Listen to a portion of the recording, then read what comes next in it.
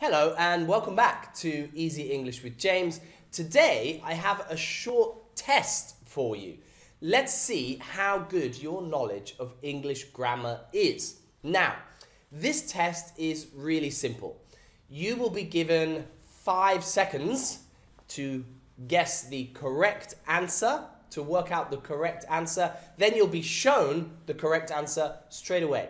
When you're shown the correct answer, make a note of whether you got the question right or wrong. Okay? Each question, five seconds, and then you'll be shown the answer straight away. Make a note of if you got them right or wrong. And at the end of the test, you'll be shown what level you are. Now, remember, this is only a rough estimate. It's not exact because it's a short test and there are only 20 questions. But again, give it a go and we'll see how you do. Okay, good luck.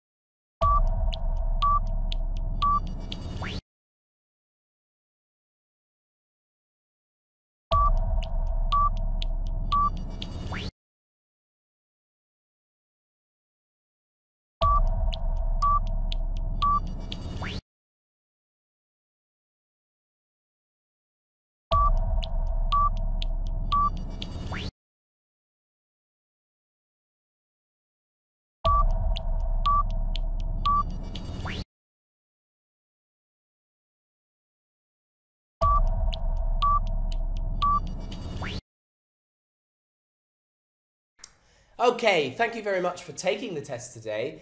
Have a look at this page that you can see now. This will give you some idea of what level you are and what your knowledge of English grammar means right now. Okay, I'm very happy to say that we'll be having a lot more of these tests in the future.